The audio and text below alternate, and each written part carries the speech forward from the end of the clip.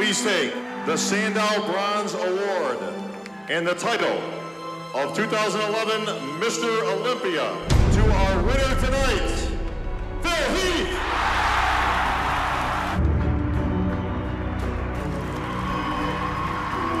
Phil Heath has had a lot of gifts. He's the gift. I mean, you know, you got gifts, and gifts is great.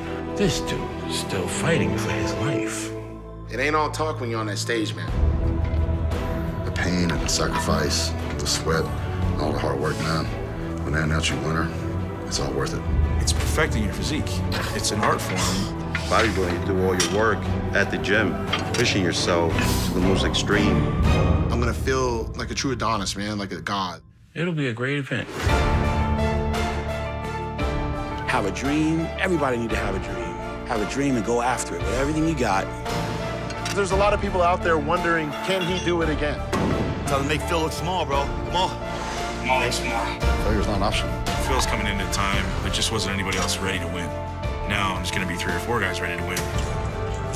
I know I'm the champ. I don't have to keep saying it. They know I'm the champ too. My title is Mr. Olympia. Theirs isn't. And they're trying to get there. They've got to fight me all day. Go sleep a long time.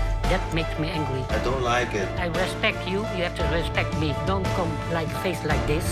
There's always that pressure. That's why a lot of guys fail, just because there's so much pressure. This is the one everybody remembers. As long as you know in your heart that you gave it your all, you're a winner. I won the Olympia, man, and I know I can be better than that. I'm gonna be very hard to beat. This year will be a different story. It's time for his ring to end. There's no way I'm going to lose. I better be ready, you know? I better be ready to bring it.